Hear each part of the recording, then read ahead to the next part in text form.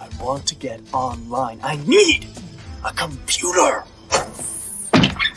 I need a Sinologic 60, Sogo 7 data gloves, a GPL stealth module, one Burdine intelligent translator, and Thompson iPhone. I want room service! I want the club sandwich. I want the cold Mexican beer. I want a $10,000 a night hooker. Hold, sinners! A It's Headphones Neil!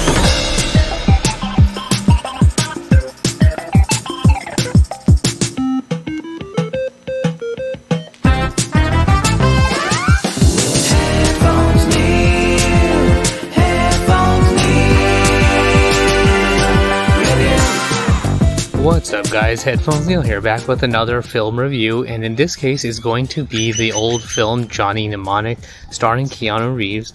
So, recently I was thinking about films from the past that take place in the future. So, in this case, it's a 1995 film that takes place in 2021.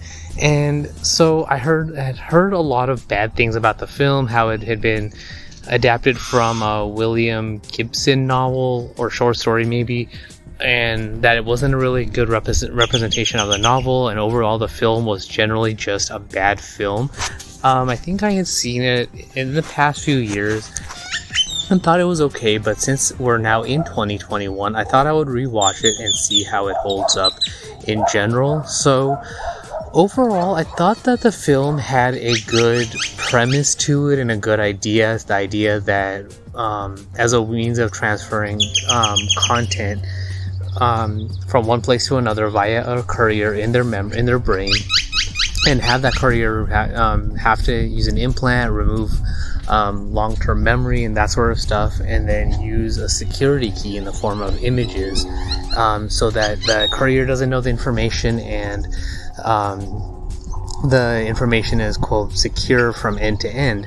So all of that kind of worked and that kind of re- reminded me of the encryption schemes that we kind of hear about from the um, days of like the roman empire and medieval times and things like that where um, people would encrypt um, their information in letters by putting them in codexes think of thinking along the lines of um, leonardo da vinci or um, putting there's uh, a ring signet on it and um, closing the letter with a um, can or um, uh, some sort of stamp or something like that. So, or maybe setting up some sort of other encryption scheme. So, the film reminded me a lot of that kind of premise, but with a more modern take on it. Um, the thing that kind of falls apart for me is the intricacies and random elements of the film that are presented throughout. So, granted, the film takes place about 27 years into the future, which at the time might have seemed like a long time, but it also uses and references things that um, A, no longer exist, B, don't really make sense, even in the time of the thing. But granted, like the things like the internet were kind of new, but it overall doesn't really I don't know, it just seems kind of strange now that not having some of those technologies being used, some technology still kind of being used, and things like that. So, um, to start it off, when we start off the film with um, Johnny taking um, possession of the data that he needs to transfer from point A to point B, he uses something called a disk doubler software. So um, I guess he has about 80 gigs of storage in his brain, which now seems kind of seems pretty low. Um, he uses a disk doubler software to potentially get up to 160 gigabytes of storage. So the main problem here is that I don't really remember disk doubler software being that good at doubling software. Granted, you can use a zip. Um, you can zip the files or compress the files and gain you know maybe 10% 25% storage because you're compressing it. But never to the point where you can exactly double your data. And then on top of that they take it a, a, a lot further and they compress or they put four 320 gigs of storage into his brain so four times that amount. So they basically doubled the doubler so it's kind of like trying to run a disk doubling software on the doubling program that you already did. So that to me just generally seemed like it didn't work, mostly because for the main thing was that disk doubling software never really worked that good to begin with, and even using um, off-the-shelf software like you know WinZip or WinRAR to compress your files, it never really was that good to be able to do that. You needed to have that storage, whether a bigger hard drive, delete files, and things like that. And then on top of that, when you look into the present day, we have storage devices that are considerably larger than that. So saying that your brain can hold less than what um, the Johnny Mnemonic future predicted, it seems kind of strange. So, for example, the phone I'm using right now has 256 gigs of, gigs of storage, and I'm not going to magically be able to double that and get 512 gigs of storage. And then you have um, storage drives uh, or hard drives at one terabyte and larger, uh, flash drives at um, 512 gigs to one terabyte. So overall, basically, the Johnny Mnemonic future could have been solved just as easily with a flash drive. Um, with potential encryption software, or even if they did in the form of an implant where you put a USB drive into a courier's head and stick the flash drive into it, and it can only be um, ejected or unloaded or removed from his brain by using the code, that would have been a better future or better uh, resolution in this case. Um, the next up thing is that when we do, it's in the same scene, but this is in the next scene when we have um, Keanu Reeves doing the data transfer. We get the initial look at what would eventually be a really cool idea in the Matrix, and that's the form of the actual data transfer. So, and connecting to the internet. So he uses what looks like an auxiliary cable to the back of his head to um, download the data, and later he uses that to um, connect to the internet um, by plugging into the back of his head and then using a bunch of different um, hardware that you heard at the stinger at the top of the show with the um, Thomson iPhone, the Cyber or whatever that other hardware was that I can't never really remember all the names to, but basically the Matrix took this idea and made it a really cool version where you can plug into the Matrix, aka the internet or um, a um, network, and get access to all of this information. So I actually thought that this idea was pretty good in that.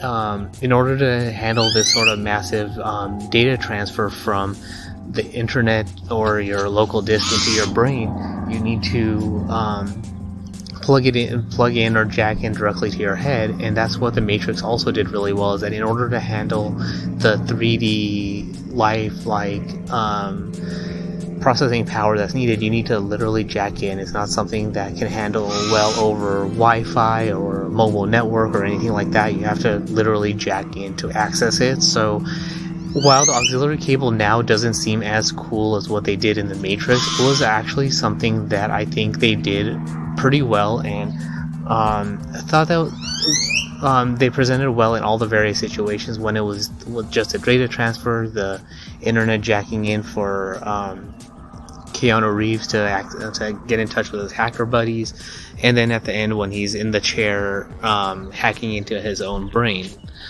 Um, the the next thing that I kind of thought didn't work in the film was the use of fax machines to transfer data. So it was kind of strange. It's kind of strange now, and it's one of those things that's 50-50 because we're still using fax machines. So it's not like they went the film went out of its way to predict that we would still be using fax machines. But the idea that we're going to use fax machines to um, transfer data from uh, or transfer a security code from one place to another, and then um, you have to send your courier to the um, another, one place to another to actually transfer the data doesn't quite work as one would imagine. So um, it's one of those things where it kind of makes sense to the point where if you um, don't use uh, or if you translate fax machine,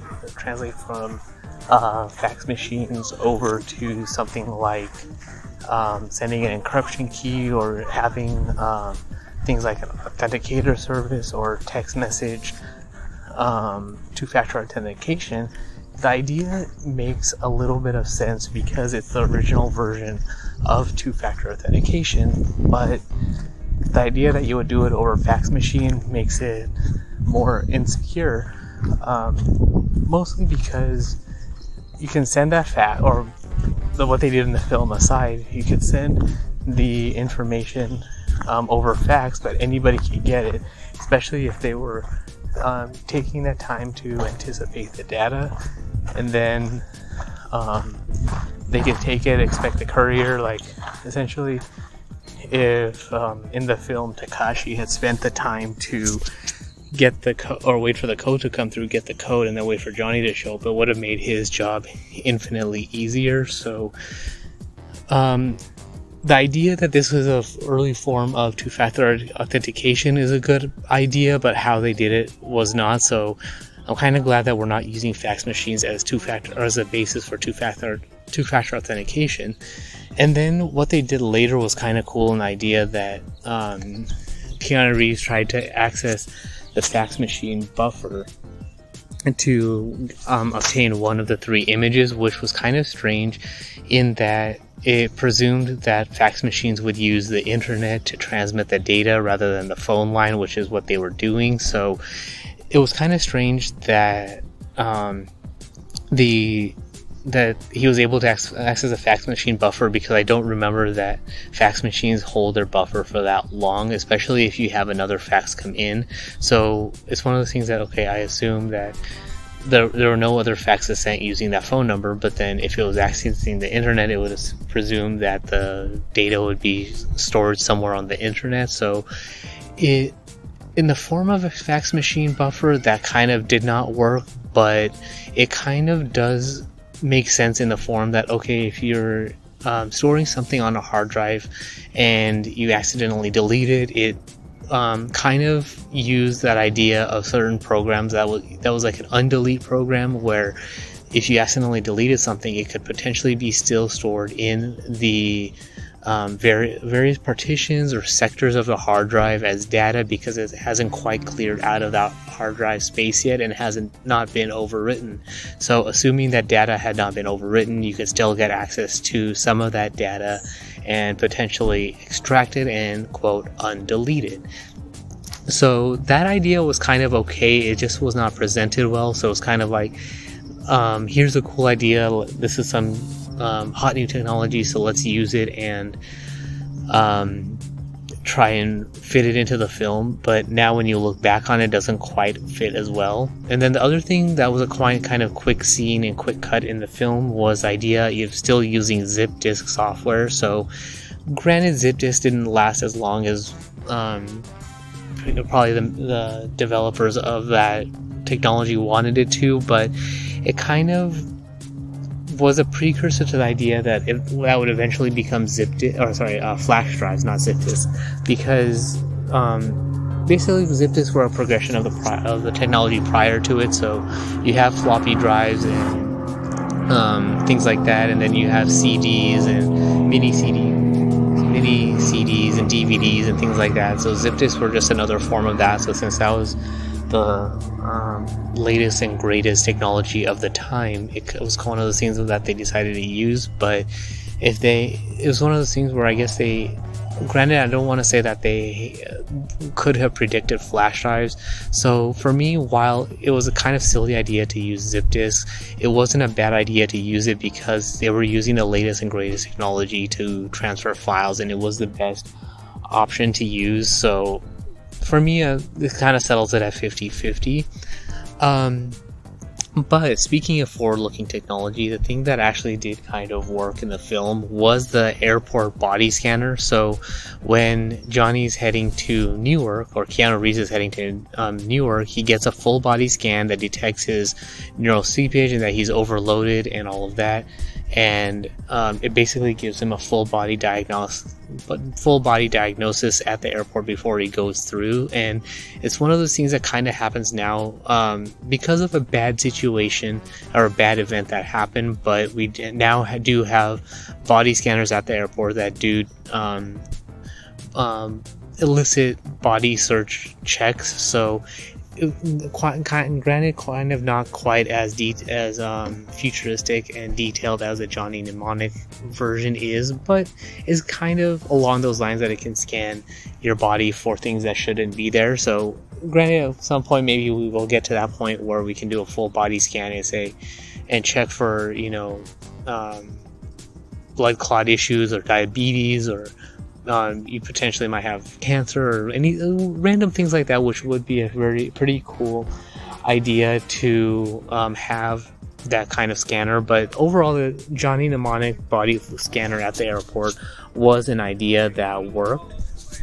Um, as far as in movie music goes, in general, the soundtrack wasn't anything memorable, but the thing that did stand out to me was when Johnny was at um, Ralfi's club, we had what sounded like lo fi beats. So if you stream music or you search on YouTube, you'll hear, you'll, you'll see a lot of different um, videos out there for things that for what's called uh, lo-fi beats. So it's basically music that you can relax to, chill to, work to, and things like that. So when you're when you listen to that and you see hear it in um, the Johnny Mnemonic nightclub, it is one of those things that kind of just works and sounds um, pretty um, good and was something that I actually liked in the film. So um, it kind of while it wasn't something that they necessarily predicted or um, foretold into the future, it was something that worked because it's something that's came to pass um, as far as music that people might still be listening to. So um, I want to give them points for that just because it kind of worked. It was a pretty quiet scene. It was a kind of club that Ralfi that would kind of work for Ralfi. So um, in listening to it, I will give points for that. Um, and then, of course, they turn around and turn things around again, and um, we see that, or we have a couple of scenes where we have one of the bad guys, one of the henchmen for Ralfi, using a laser whip, which was kind of weird because he was the only one that had it. But then it was a pretty cool piece of technology, pretty cool piece of technology that um, can cut through just about anything. So um, it cut through. Uh, it can cut through human flesh, doors, metal, locks, um, tables, whatever you want. So it's basically like the lightsaber of the film. But then, if this is a piece of technology that's available, why isn't it mass produced? Why does this one henchman? Um, why is the so only the one henchman who has it? How does he get trained in using it? So they kind of presented an idea that didn't really get fleshed out. So it was kind of like, why does he even have it to begin with? Begin with, or how does it even come about? So I was kind of hoping that there would be a scene, maybe when um, Johnny's parsing through the Pharmacom um, data dump in his brain, that he comes across a project called Project Laser Whip or something like that, where they show the idea behind it, or he extracts it out to the dolphin or to Ice T, and they're reviewing the idea behind it. So it could have been explained at any point in the film, but they kind of didn't explain it at all as to uh, why this guy had it, how did he get it, what's going on with it. So it's kind of like the film presented a lot of ideas and technology um, outside of the um, brain storage courier stuff, and then didn't really spend the time to explain any of it. Um, and then of course moving on into the later part of the film and the final climax as far as getting to the low tech headquarters and hacking into the brain when we get to the scene where um, keanu reeves wants room service and he um, is asking for the iphone and all that to get online how do they stumble into a room or computer or i guess they explained it kind of but it was kind of one of those things where how did they stumble into a sewer warehouse full of every all the technology that he needs to get online with an uh, connection with an internet connection and all that. And i guess they, when we have the bad guys trying to track them down i guess he was in a computer lab so it kind of felt very lucky and convenient that they stumbled into all of the stuff that had the room that had all the stuff that um, keanu reeves needed to get online. So i don't know it just felt kind of weird so i it felt like one of those things where if they had at least presented it as they were walking through a mall that had a computer lab, then it kind of would have worked for me. But the scene just wasn't presented well with the overall dramatic um, acting that Keanu Reeves was presenting. Um, and then next up, or finally, um, when we have um, Ice T giving his final speech to the world to broadcast that they're that they found the cure for the black shakes NAS and he tells everybody to get their VCRs ready. That was probably the one thing that stood out as far as pulling the film out of its time because everything else kind of would have worked in a futuristic thing. We have the courier with the brain in his head, we have the auxiliary port to the back of the head, we have fax machines and all that, but then he says, um, um, basically, he tells everyone to get your VCRs ready to record this, and um, then we, and then we have um, Keanu Reeves trying to get into that fax buffer I was I've been talking about, but if we're in a future where we're still using VCRs, is that really the most um, efficient way to get your data um, to get your message across and saved?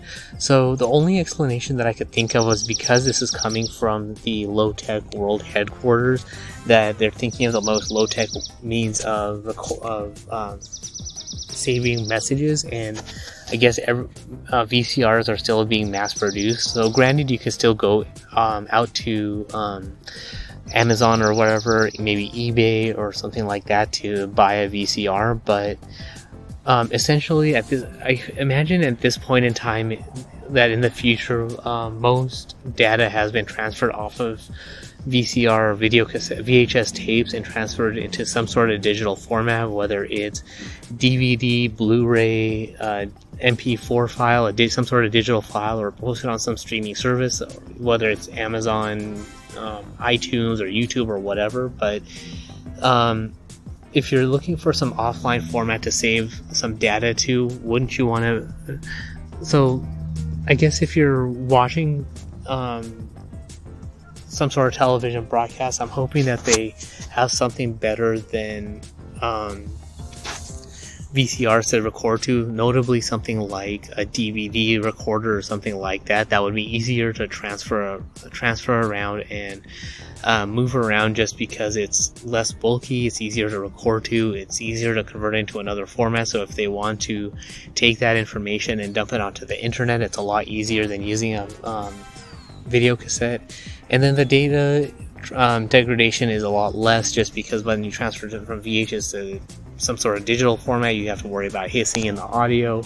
Um, the file quality or the image quality is not as good and things like that. So the VCR thing basically took me out of the film to the point where no no one's really using um, VCRs anymore unless you're a person who has a lot of old VHS tapes and you want to still use or watch those videos. But um, over all the times that, over all these years where we've had the rise of um, Blu-ray and DVD and sorry DVD and then Blu-ray and then now digital media, there's enough conversion going on to the point where most VHS, I want to say, has been converted into some sort of digital format, and recording in some sort of digital format is a lot easier to do than it was before.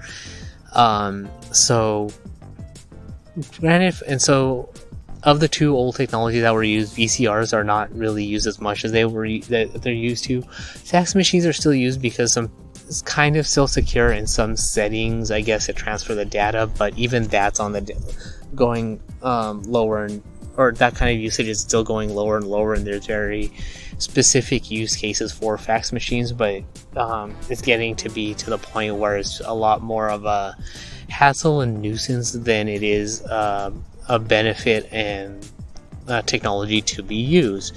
So, overall, if I was to grade the film, um, as far as entertainment value, I'd probably give it about a 80 to 85 percent. It was a decent film. Um, the aside from the idea that we're that we could still be using VCRs and fax machines in the future, the main scene that kind of took me out of everything after all of that was the whole dolphin scene at the end with Jones. Um, so that was kind of strange and weird. I'm not if I was watching it for the first time, it wasn't something that I was expecting. Um, the explanation that they gave was pretty good. I'm glad that they didn't that they didn't have um, Jones talking like a human, which would have been worse. Um, I'm glad that they had him plugged in. They explain ex- explained that he was experimented on by the Navy, so he talks through the internet and through televisions and through technology. So it was kind of strange and overall something that I generally uh, it was presented well. It was probably one of the best presented things in the movie. So overall, it kind of just worked. Um, the whole Johnny Mnemonic courier thing was kind of is it kind of shows this age that okay, it's a cool future and it kind of works. Um, they uh, had a um, basic idea of two-factor authentication with the fax machine of the images, um, transferring data via the aux cube to connect to the internet to him kind of works. So I was kind of wondering now, and we're kind of wondering now why they didn't use some sort of um, USB transfer technology or something like that. Um, so things like that uh, while not completely hashed out, were good. I definitely didn't like the whole VCR thing. The whole fax machine buffer was kind of strange. If they left it as, um, uh, well, I don't know. It's it, the whole fax machine buffer to the internet was okay, I guess, because if you're it kind of introduces the idea of interception, intercepting inter- internet connection and then getting that buff that information. So the buffer idea was it, it, kind of explain. It was kind of a plot device to progress the film along. That, that where else would they get this um, data from? But in general, it was okay. Um, the whole Black Shakes NAS t- for technological overload was pretty decent and or pretty decent of an idea, mostly for like from my perspective. Um, and it's a simple comparison to make, but if you if you wear um, the blue light filter gla- um, glasses when you're using a computer screen, it's one of those things where it prevents wear and tear and fatigue on your eyes and mental fatigue. So it's one of those things where the Black Shakes or NAS takes that a whole few steps further to say that all this technological information overload causes a neurological disease. So that idea was uh, pretty well um, presented to that uh, presented well enough to that point where too much technology and too much information overload will eventually cause our neurological pathways to break down. So we do need to unplug and unwind and things like that. The disc doubling thing was, of course, pretty silly, and I didn't like that. So taking points away from that. But my favorite part of the film that they didn't expand well enough, and I kind of wanted, I definitely wanted more of, was the whole street preacher concept presented by Dolph Lundgren or played by Dolph Lundgren. So in the second half of the film, when the main yakuza bad guy is had enough of his henchmen failing, he hires this guy who portrays Jesus, who portrays a preacher, um, goes by the street name of Street Preacher by the Low-Techs and those kinds of guys. Um, he's basically a cyborg because he's had a lot of implants and doesn't have any more human elements to him. And he basically is um, an assassin, a mercenary for hire, and sort of. Um, basically, that's kind of the character he's portraying, but in the form of a cyborg. So he goes after um, Keanu Reeves to get his head. And overall, I liked um, all the stuff that came, that he said and the way he said it. So, like in his initial conversation with um, the Yakuza boss, um, I think Shenzi was Shenzo, Shenzhen, Shenzi, something like that. Um, I think Shinzon was a guy from Star Trek, but um, basically, when Dolph Lundgren is saying, "Would you like someone brought to Jesus?" the way he pronounced it was pretty cool. Um, I think it might have been his accent, but I just like the way he said that when he says things like "Jesus, Jesus time," and then um, my favorite line that he saw or they heard in the Stinger was when he's um, when um, Keanu Reeves, Dina Meyer, and the doctor guy are trying to escape, and Dolph Lundgren steps out in the middle of the street and yells, "Halt, sinners!" That was probably my my um, second favorite, along except for his initial lines with um, the Yakuza boss.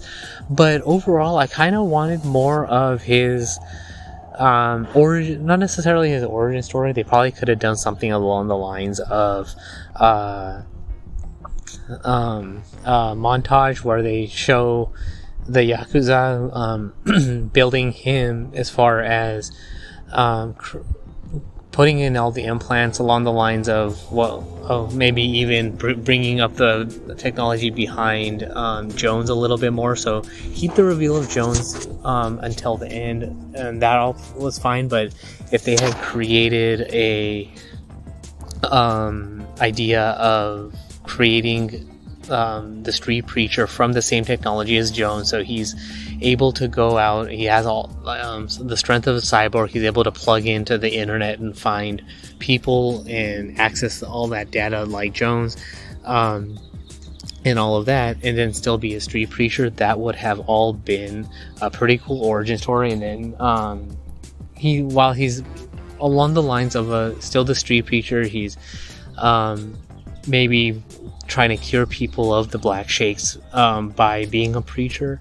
I was kind of. It would have been interesting to see if they had um, expanded on his character a little bit more. So at some, he's still that merc, or because he's he used to be a mercenary, but he's now a preacher, and he's tr- trying to help people get cured of the black shakes, kind of like along the lines of Keanu Reeves meditating when he ha- and doing Tai Chi, I guess, when he's after the data download and to keep his mind sane. Um, we have Dolph Lundgren um, being the preacher to help keep people calm of the, of the black shakes to help try and cure him cure them through religion um, and because he used to be a mercenary and the uh, yakuza want him to take on um, Keanu Reeves he gets the implants done or he activates the implants that he already had and um, goes after Keanu Reeves. So all of the second half of the film stays the same, but kind of have an origin story as a counter to what's going on with the Yakuza and more, basically have more world building um, outside of just a focus on uh, what Johnny Mnemonic is doing and then what the Yakuza are doing. So it kind of felt like they could have and they could uh, at the at about an hour and a half or so the film was relatively tight and short but by adding some of these extra um, um, exposition options and character development they could have made the film a lot better and felt a little bit less silly by putting everything into the second half of the film.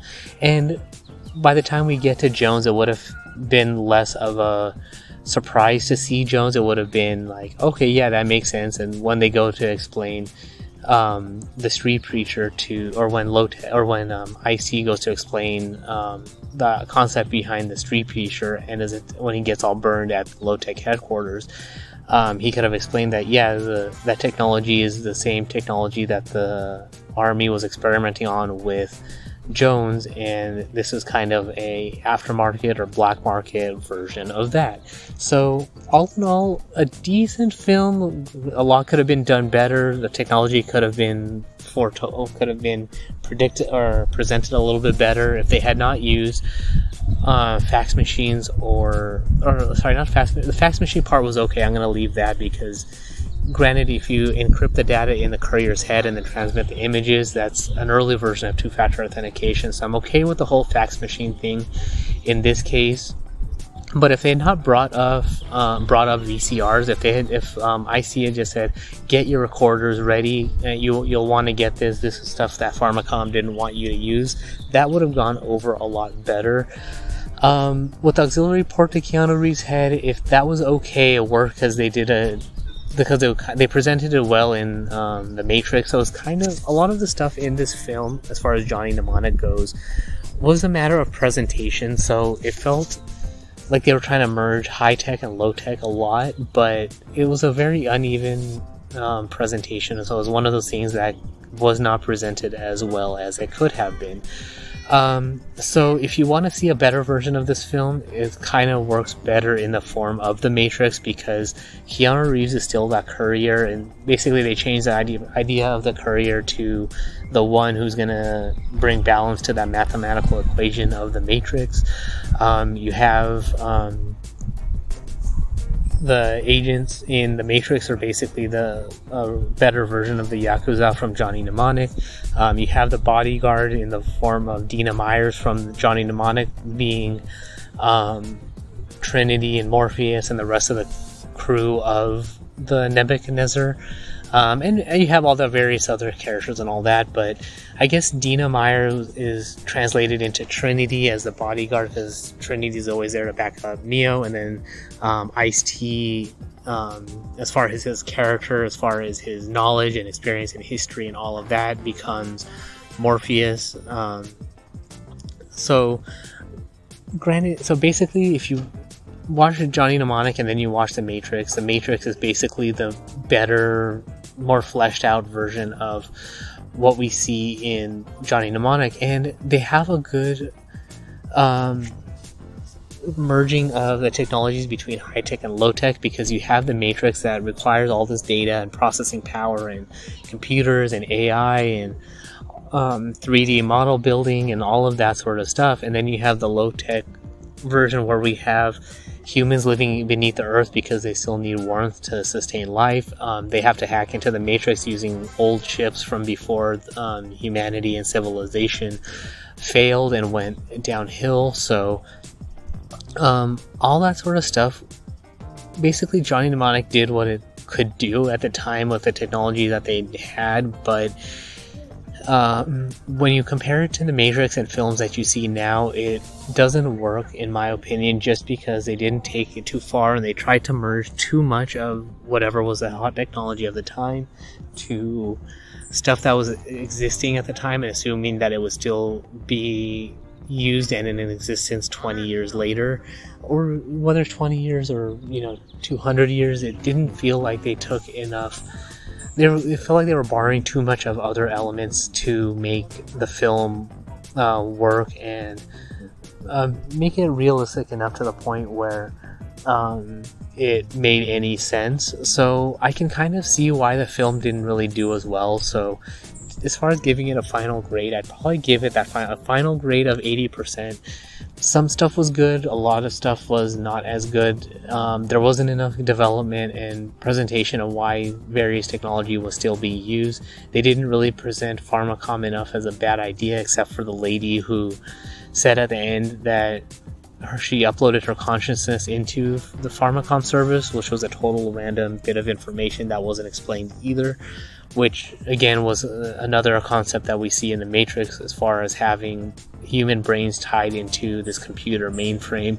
So things like that. So basically, um, Johnny Mnemonic is at its core an alpha version of what we see in the Matrix. So um, if you want to watch the better film, watch, definitely watch the Matrix. And by scoring standards, it is of course uh, very good. I think Johnny Mnemonic was getting a score in like the tens and twenty percent. So definitely, and maybe even, and that was critics. For as far as audience goes, I want to say it was probably in the 30s somewhere. If I and I didn't really ch- check or pay that much attention to it, but it wasn't that good of a. I mean, it was an okay movie. It was entertaining enough. The uh, Johnny Mnemonic flip out scene with the room service was okay. They didn't really resolve his childhood and um, he got a good memory, but they didn't really um, explain if he got that back or if Jones was able to restore his, all of his memories or just the one memory from his birthday, I guess. So, um, things like that. So, the film tried to stick too tightly to a linear story and not explain anything, and I think that's also where it kind of falls apart. So, if they were to remake the film, which I don't know if they really should or shouldn't, but if they were to remake the film, I hope that they don't include um, the VCRs. But I don't mind the whole idea that they that in some point in the future with these couriers and the internet and privacy secure and concerns and all that are being in the hands of big corporations that you have to plug in not necessarily by an auxiliary port but with a USB cable or micro USB or something like that to have the a faster file data transfer or just keep it generic where you plug in a cable into your head. Don't tell us if it's an auxiliary port uh, USB C micro USB or anything like that. Just plug it in. Um, as far as transmitting the codes, um, I don't want to say that you have that they use a um, fax machine because that would of course assume that you have a working telephone line and the telephone lines in the future are still being used. But if they leave it kind of generic and don't show us and say um, if they use a computer that just says connecting, you know, kind of like the A- America Online connection screens where you have to di- rather than dial a connection you can still use numbers because that's one of those things that could still work in the future. You have a string of digits whether it's in the form of an icq code phone number um, username ip address or something along those lines. Any one of those work ideas in my head would work but you just say connecting you don't say how you're connecting don't have a dial-up modem sounds that's something that no one's heard in a long time unless you still use a fax machine.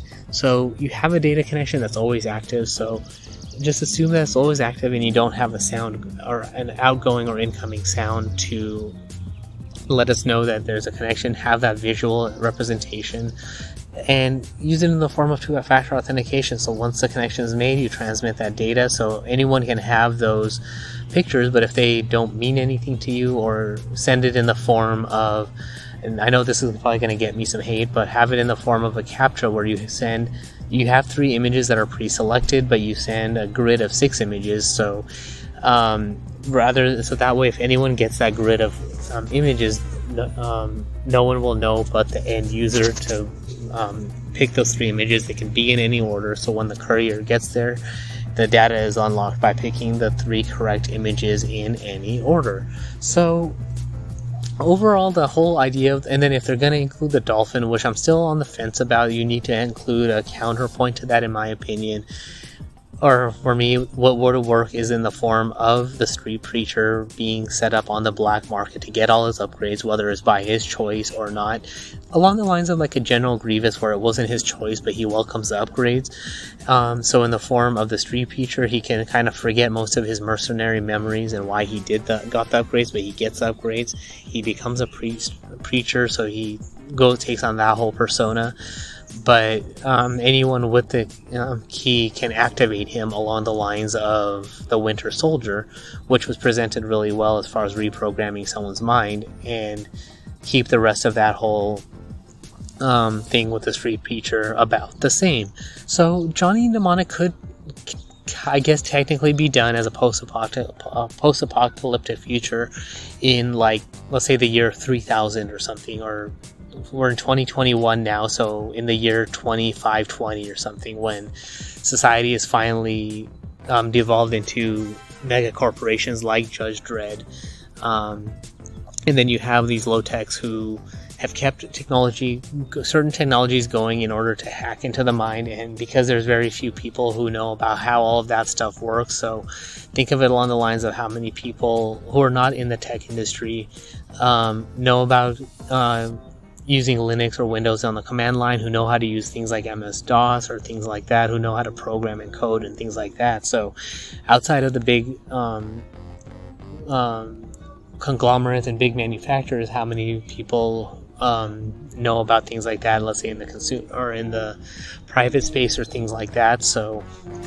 along the lines of that, where you have the low techs who have their hackers or things, people like that to um, bring it all together. So I guess along the lines of um, merging the Matrix with um, hackers with Judge Dredd, I guess. So basically bringing in a lot of these various elements and keeping technology generic and not really bringing up any particular set of technology. So the user or the um, whoever's watching the film can watch the film and take a look at it as if uh, and basically fill in the information with whatever technology they want. So you can say, "Oh, I wonder how he's getting that data into his brain," and you can say, "Well, right now USB-C would do it," or plugging directly with a big jack or um, whatever could work, and then sending the data over a um, wired connection is like, all right, well, he's using internet, is he using a telephone line, or is he using Wi-Fi, or how is he getting that data out there, and leaving some of that stuff to the watchers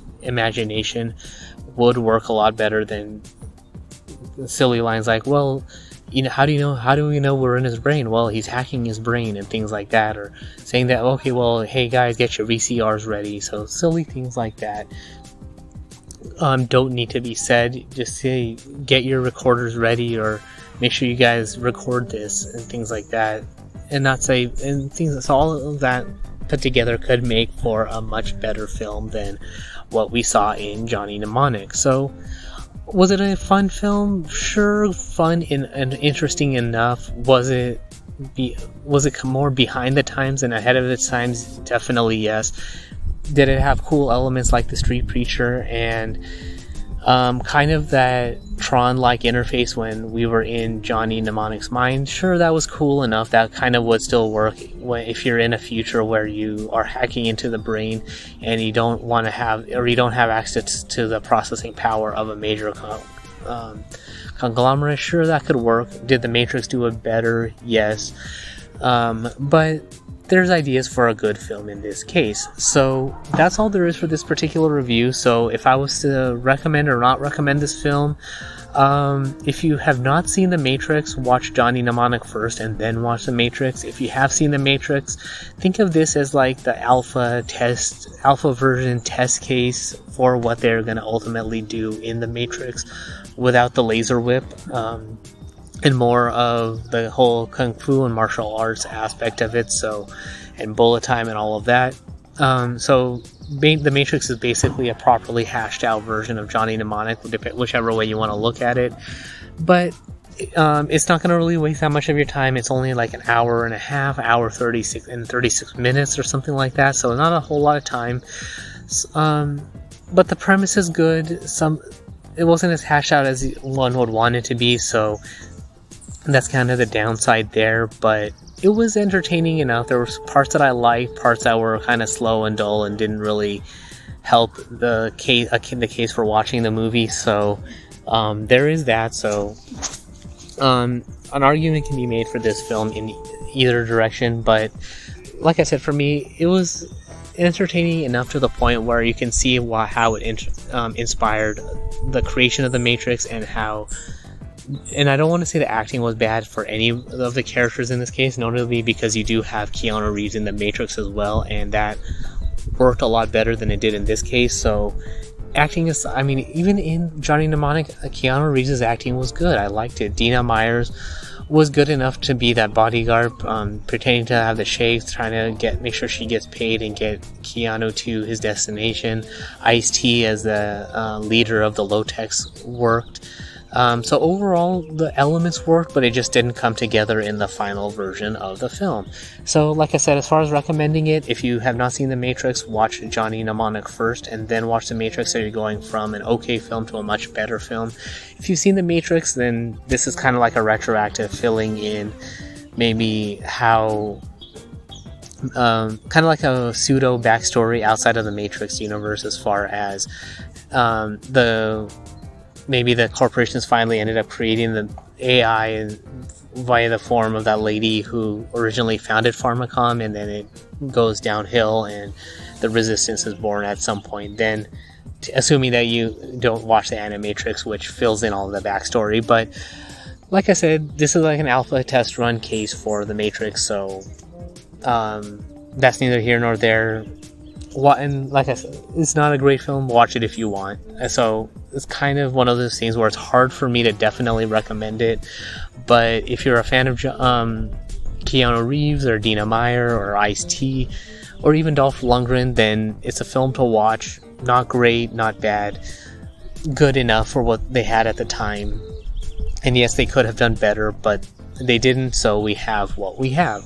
So that's all there is for this particular episode. Um, a much longer episode than I usually record. So thanks for sticking through it. Um, so if you have any feedback, questions, comments, thoughts, anything like that, you can find me on Twitter at PatelN01. You can um, support the show on Patreon at patreon.com slash PatelN01 where you can comment on a post there as well. Um, the website is headphonesneil.reviews for past episodes, subscription links, all support options aside from just Patreon. Um, and all of that good stuff. But thanks for tuning into this particular review, and until next time.